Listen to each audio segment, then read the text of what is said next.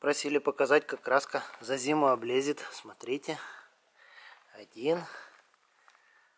Второй. Третий.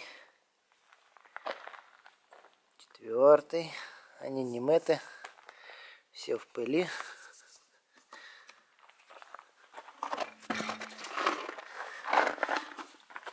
Рукожопы, объясните, что я сделал неправильно, почему краска не облезла.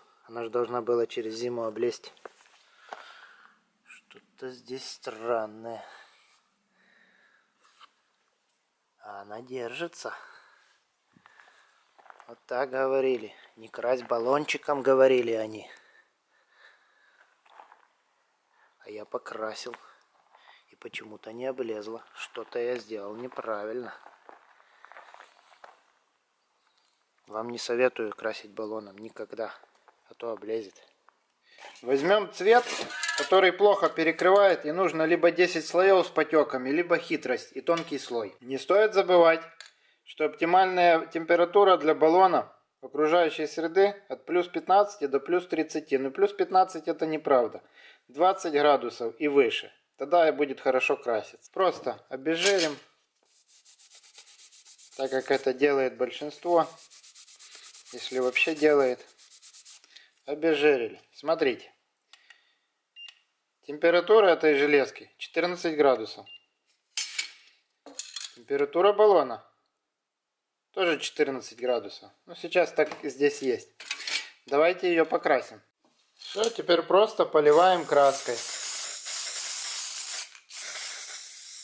Налили такой слой, как красят. И все. Он уже потек сделал, здесь больше накрасил, здесь меньше. Так не нужно красить. Но мы это оставим, запомните форму. Возьмем вторую железку, обработаем ее наждачкой, чтобы краска лучше прилипала.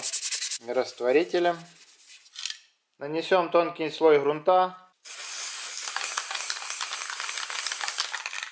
Вот так большинство красит. Видите, как хорошо ложится? Просто шикарно, когда все холодное. Подсушим феном. Специально взял такой, потому что строительный есть не у всех. Как видим, краска просто шикарно легла. Это мы загрунтовали.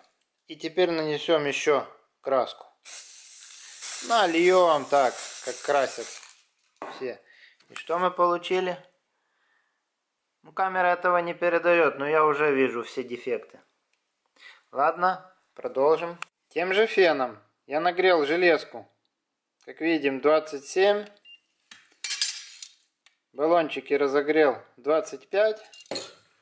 Грунтовка 23. Это уже хорошо. Больше 20 градусов. Это так должно быть. Идем красить. Теперь я вам покажу, как я крашу. Деталь теплая, краска теплая. И я не крашу одним нажатием, а крашу вот так, рывками. Следите за пальцем. Таким образом мы можем контролировать краску. Все равно она еще холодная, 23 это мало. Видите пятнышки? Она не ложится ровно. Нанесем краску.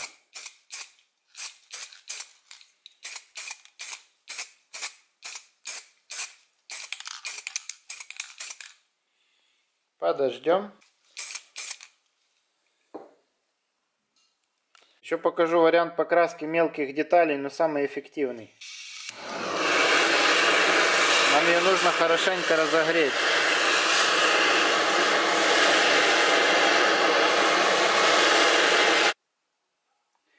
Можно нагреть зимой на буржуйке, а можно разогреть газовой горелкой. Смотрите, теперь как будет прикипать краска.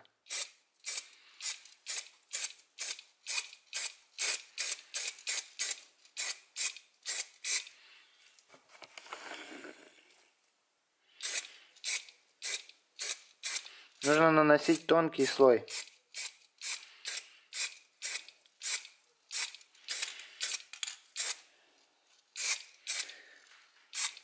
На руку слышно, что температура уже не так жарит.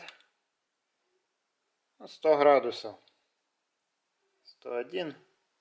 Это уже хорошая температура. Теперь мы наносим окончательный слой.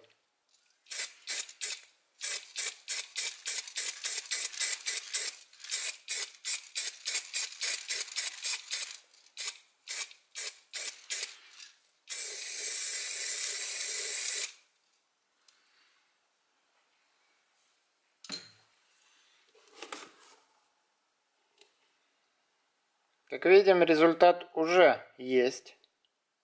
Давайте это подсушим и посмотрим. Теперь возьмем серую краску для дисков. Вот эту деталь я прогрел. Вот это осталось холодной. Баллон также холодный. Постараюсь покрасить.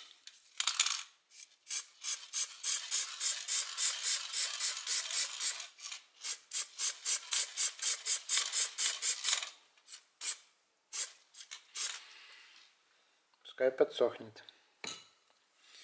Здесь краска моментально прихватывается, здесь она, как видно, мокрая. Краска подсохла. Как видим, какая структура. Теперь нанесем лак.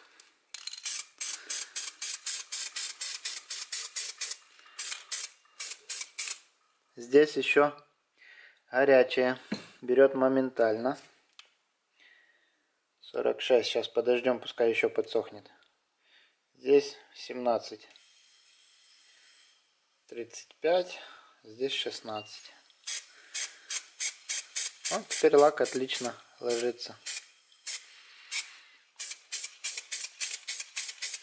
Как видите, я крашу только рывками. Так я могу контролировать слой.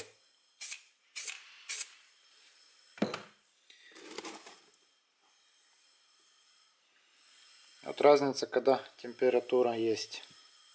Пускай сохнет. Ну что ж, подведем итог. Вот первое, здесь не видно на камеру, но она в пятнах.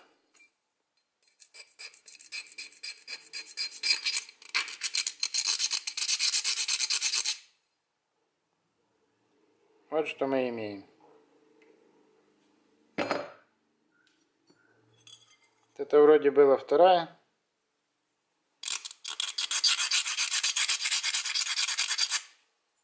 Так держится краска.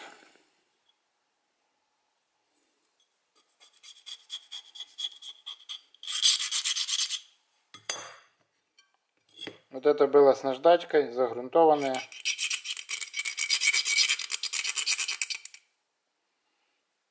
Это все потому, что металл гладкий и не снят вот этот окис, который образуется. Сталь-то новая.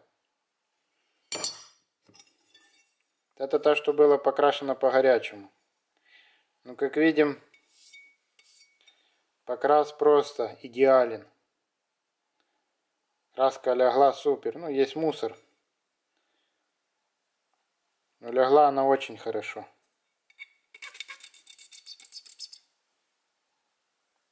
Разницу видите?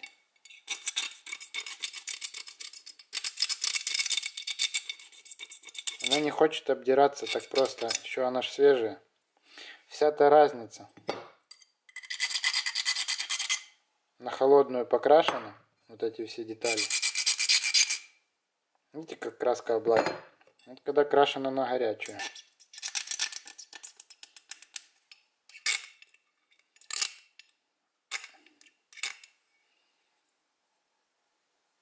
Вот вам вся разница. Теперь посмотрим по металлику. Вот это крашенное на горячую. Как видим, риску я не снял. Металл остался гладкий. Его всегда нужно шкурить. Ну и вот этот. Разницы никакой, потому что я его не подготовил.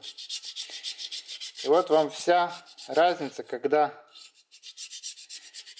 у кого облазит краска. Вот она, вся облезла. Потому что металл не подготовленный, он не шершавый, он глянцевый. Если не потереть наждачкой, не обезжирить, вот такое оно и будет. Помыл мойкой и смыл. Либо нагреть. Тогда хорошо держится. Вот так. Теперь покажу еще один недостаток краски из баллончика. Тормозная жидкость. Моторное масло. Бензин. Ой, много налил. Подождем. Прошло 5 минут, протираем тряпочкой. Сразу все.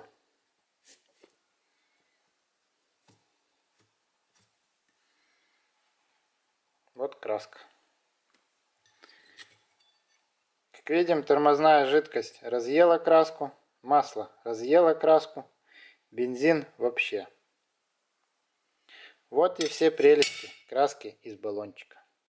Об этом нужно знать, что краска в баллончике доступна каждому. Ну, вот такие могут быть последствия. Красишь баллоном, заправляй на заправке, а не с канистры и разливай. Либо красить порошком, либо двухкомпонентной краской. Во всем есть свои плюсы и минусы, я вам их показал. Еще нужно помнить, что поверхность должна быть шершавой.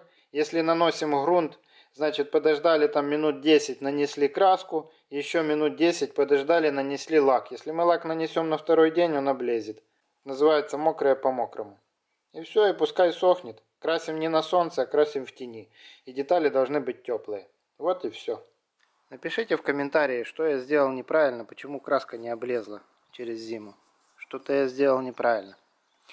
На этом все. Добра. До новых встреч. Пока.